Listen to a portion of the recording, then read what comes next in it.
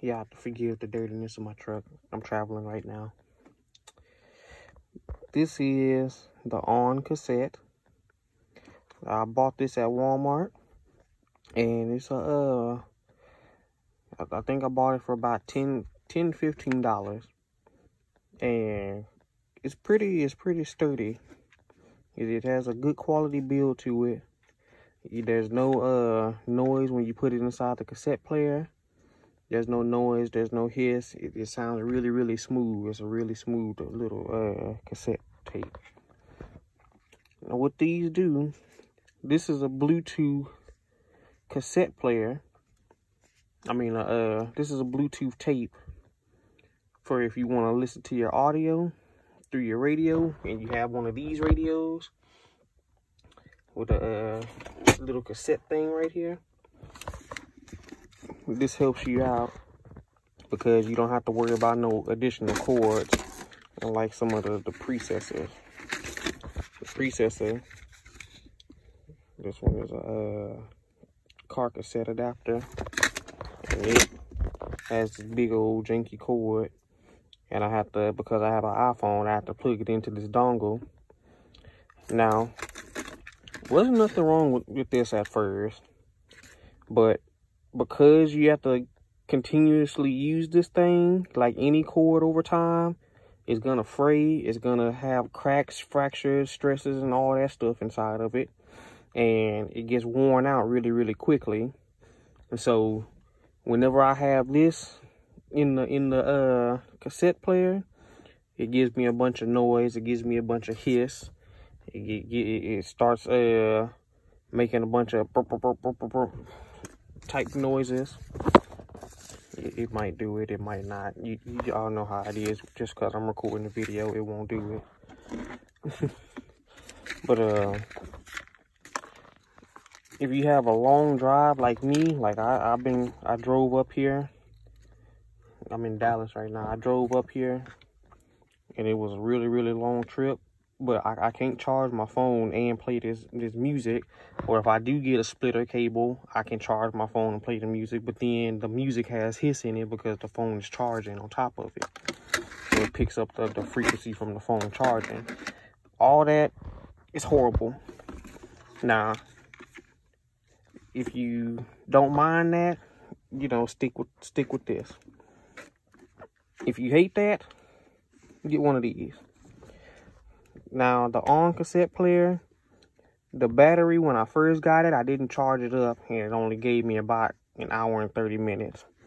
After I charged it, and after I, I used it continuously, the battery will last me pretty much all day it lasted a full three hour trip. It lasted a full four hour trip. It lasted a full six hour trip. And I don't know if that's just this one or if that's all of them. The first time, the battery sucked. But after you use it, the battery got really, really good, really, really fast.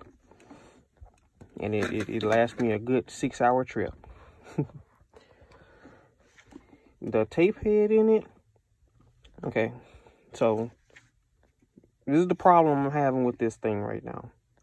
The tape head refuses to align with my tape cassette. And that wasn't a problem at first. At first, I put it in the radio, you know, and it does its thing, and it was fine. But now, look, look here. Push it into the radio. This arrow means is, is moving the, the track up. That one means it's moving it down. It's trying to align it, but it can't align it. And since it can't align it, it just spits it straight on out. That sucks. Because it means I have to go back to this thing. And you really don't realize how horrible this thing is until you've had your music played crystal clear through Bluetooth. the hiss and the noise from this thing is is honestly it makes me want to throw this thing out the window and i don't even think it's the tape well yes it is it is the tape because when i play this you can there's a, a considerable difference in the way that the audio sounds And for those of y'all who want a sound file, I'm I apologize in advance because I can't give you a sound file, a sound sample right now. I, I just simply don't have a second device to do it. So you you just have to bear with me. But the way it, it sounds, the Bluetooth sounds crystal clear in comparison to this cable. And I'm pretty sure if this was a, a higher a higher quality cassette tape like this one, then it probably would sound just as good with the cable. It'd probably it probably sound even better if it was a higher quality cassette. But since it's not, right now it, it doesn't sound good. The dongle is broken. That doesn't sound good. My port is is experiencing issues. My port doesn't put the music out good. There's nothing good about that that corded one in comparison to this Bluetooth one. Well, except that it, it lines up. so just a quick overview of this thing. So you have LED, res, and USB. The USB is right here on the front. Hope you can see that. It's just a standard USB. This is the cable right here. It's just a standard USB cable. Nothing spectacular about it the uh, LED, that's to let you know when it's powered on. Res, res stands for reset. So every now and again, you'll have a few problems with this with this Bluetooth because they use a uh, even though the the sound sounds amazing, they use one of those standard off the shelf Bluetooths, the one that goes doo doo doo doo doo doo. They they use one of those, and you know it's it's in everything nowadays but it, it's not like it's a huge problem. You push this button down here. This is the on off switch. Come on, focus. It's the on off switch and down there at the bottom, that's that's the microphone. Now, let me tell you about the microphone. The microphone on this thing picks up every little sound there is. It is crystal clear. And I don't know if that's just for this one or if that's how all of them are. But I know on this one here, that microphone picks up every single sound. I was at a, a train stop, or not a train, but a tram stop. And this microphone picked up the, the, the weak horn of the tram passing by. It picks up the bumps when I pass over. I don't have to yell when when I'm talking on this on this Bluetooth. I can I can sit back in my seat and and talk comfortably and quietly and this bluetooth is still going to pick it up. The speak the uh, microphone on this thing is amazing. You press this button and hold it down. That turns it on. Now it says it's connected on my phone. When you want to turn it off you press and hold the button again. That turns it off it turns off way faster than it turns on, that's for certain. But uh, whenever you turn it on, the first time you get it, it's to automatically go into pairing mode. You don't have to have a, a password or, or a pin. You don't have to have any of that stuff. You just click on it and it'll take its time and they'll both sync. When they sync, it takes a few, well, not a few minutes, but it takes a few seconds for it to line up with your phone. So here, here's my demonstration of it. You're gonna turn it on. It's gonna power up. Doo -doo -doo -doo. All right. And then you're gonna hear two beeps. Doo -doo. Now that's it's connected, but the sound's not connected yet. So then you have to wait about 30 seconds. And then it, it might do do again, or it might just go and, and play your audio and it takes about 30 seconds to, to fully connect to your phone. It's not just it powered on and it's instantly connected. It takes about 30 seconds. That's a little bit of a downside, but hey, the thing will last you six hours on the road. You don't ever have to connect it again. It has a pretty decent range to it. Cause I went into the uh, I, I stopped at a Buc-ee's. That's a gas station here in Texas, and I went all the way to the back into the bathroom now, don't get me wrong. I don't think it, it kept signal way back there. But when I came back, it picked me up and it connected everything. And by the time I put my seatbelt on and, and turned the truck back on and drove off, my music was connected and everything was ready to go. So you don't have to worry about it, you know, constantly doing stuff like that. It will connect and disconnect. I mean, not disconnect. It will connect, but not play sound every now and again.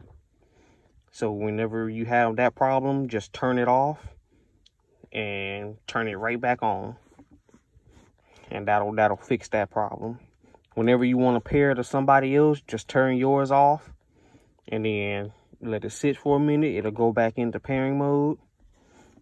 And you don't have to press nothing on there. Uh, let me see. I, I never had to press anything on there, but let me see if I can like double tap the button and see if it'll go back into pairing mode or something. So let's see.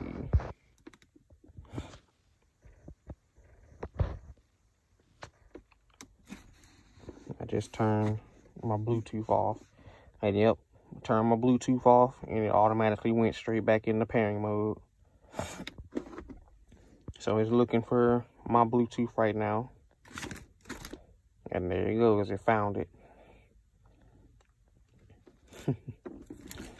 it's a neat little device, that's for certain. Okay. You can pause. You can pause the video. I mean, uh, not the video, but you can pause your music or video. It don't matter. You can pause it by just pressing the button once, like any Bluetooth. I tried pushing it twice to see if it, it skips ahead in the tracks and, and pushing it three times to see if it reverses the track. I haven't had any luck with that. Maybe I'm not doing the sequence right or maybe it just simply doesn't do that. But if you try it, let me know and see and, and tell me if it does. In the long term, I think this is a really good cassette. It's really, really well built. It's really quiet. Uh, stuff that I said at the beginning. It's really well built. It's really quiet. And it really sounds really nice. It captures all the tones of your music. It captures everything wonderfully. So if you need a Bluetooth cassette, I do recommend this one. Just make sure your well, tape player doesn't have a problem with it. Because mine obviously does. Because it does no good if you get it and now all of a sudden it's useless to you like mine. It, it sucks, honestly. Sometimes you can realign the heads manually. Sometimes you can take an old tape and realign the head. But regardless of what you do to it, it's, it's a pretty good tape. It's a pretty good tape deck.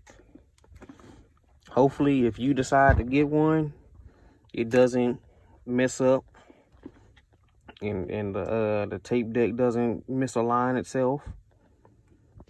And if it does, I don't know what to tell you. I haven't been in the house to take this thing apart yet or anything. But I hope it I hope it goes well for y'all if y'all decide to get this. I say my uh tech videos are taking so long. Well, all my videos are taking long. But my tech videos are taking so long because I'm trying to to look at stuff for, for more than just a day or two and then give a review on it. I want to look at stuff in the long term and see how it works. And right now, this is the long term for this. I've had this about two months. Yeah, I've had this two months. And it's it's it's held up until last week. And now last week, that's when my problem started. And I'm I'm I don't know if it's a problem with the, the deck itself because it plays the other tape just fine or if it's a problem with the tape. So, whichever one it is, I hope you don't have the same issue and I hope you get a better lifespan out of it than I did. It still works. It still does amazing. It just won't align anymore. Alrighty. Well, I think I'm starting to repeat myself, so that's the end of this video. Oop. And then I went and dropped it. that's the information on the back right there. I don't know if that you need that or whatnot, but there it is. Alrighty, guys. Y'all take care. And that's it.